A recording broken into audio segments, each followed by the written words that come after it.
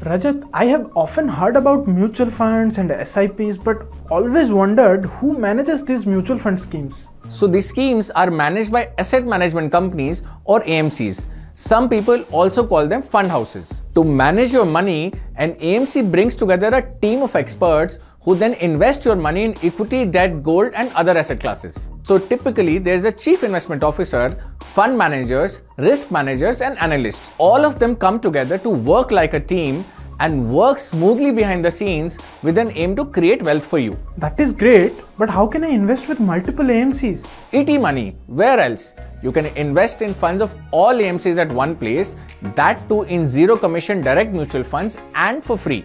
And if you like this content, don't forget to share and follow our channel 5 Minute Finance.